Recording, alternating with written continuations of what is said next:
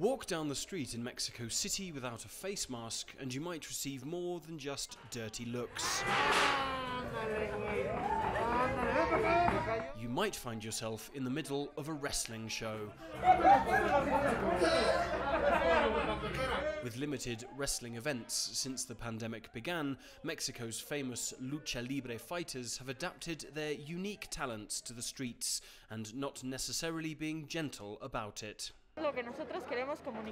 We're here to remind people that the fight isn't over and not to let their guard down, to keep using masks and disinfectant. Here in the capital's main wholesale market, which last year became an area of high infection, 12 wrestlers are making their rounds.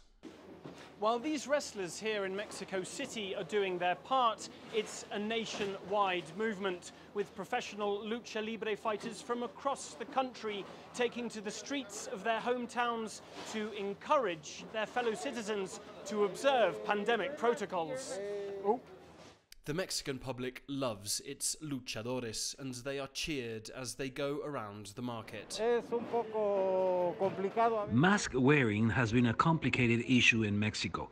People seem to think they are invincible and that the virus won't affect them.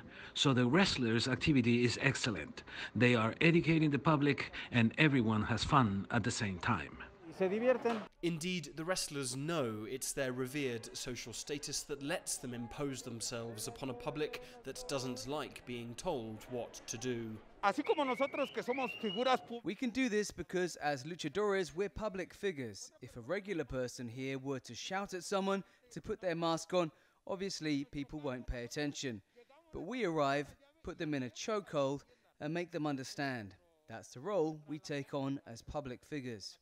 As Mexico remains one of the pandemic's worst hit countries, these wrestlers hope their targets will keep wearing their virus blocking sanitary masks even after they leave and their character masks come off.